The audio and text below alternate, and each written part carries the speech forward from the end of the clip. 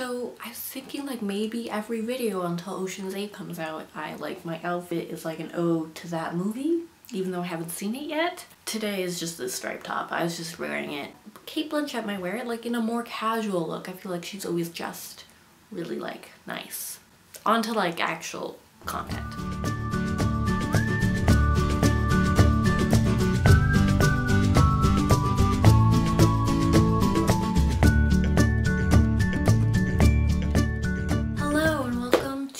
April reading wrap up. I only read five books this month, which is totally fine. So the first book that I read this month is Fun Home, A Family Tragicomic by Alison Bechdel.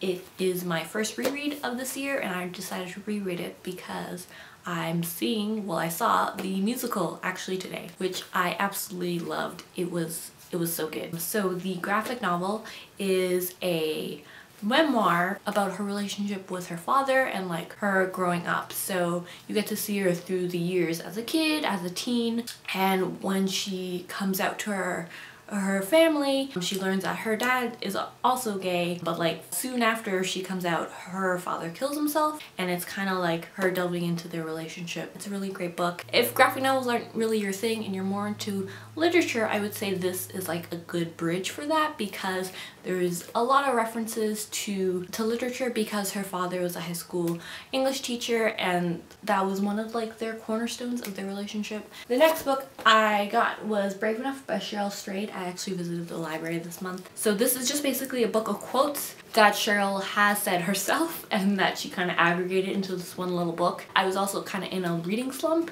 and this kind of helped with that because it's super quick to get through. They're all like really inspirational quotes. So this is a cute little book if you're looking for something light. But also kind of like hits you, you know, but in a good way. Like a healthy cry. I didn't cry, but like you get what what I'm saying. The next book that I read was Giant Days, not in the test edition. It is another graphic novel. It is a collection of volumes 1 through 8, I believe, and I have been familiar with this graphic novel for a, a, bit but I hadn't read it. And it follows three girls in university or in college because they're American and their life it does follow a linear pattern but it's they're not back to back so you just kind of get excerpts from their life and what's happening. It's really fun it's cute I really enjoy the illustrations the next book I actually own, I just can't find, but it's Eat, Shoots, and Leaves by Lynn Truss. It is a book about grammar, and you're like, that's a weird book to pick up. I had heard about this book. I mean, it's a quite known grammar book, but I think I heard about it when I was in university from like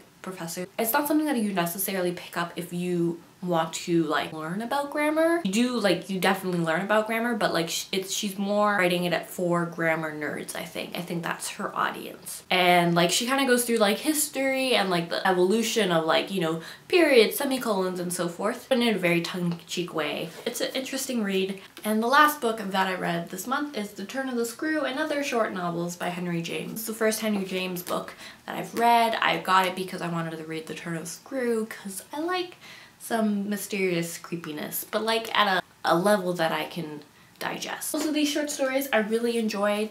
There was like one or two like I found boring. It was a nice taste of Henry James and I did quite like the mysteries. If you want like a nice kind of unnerving something weird was happening but we quite we don't quite know what it is read it's a nice taster. So those are the books I read this month. Let me know what you read this month and uh, if you've seen Fun Home or if you listened to the cast album because I just adored it. Let me know how you're doing and whatnot.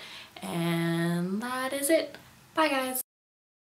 Maybe like people from Ocean's 8 will see this and like let me go to the premiere and like give me a new wardrobe. I don't know what that has to do with the movie but like I just just need some trousers.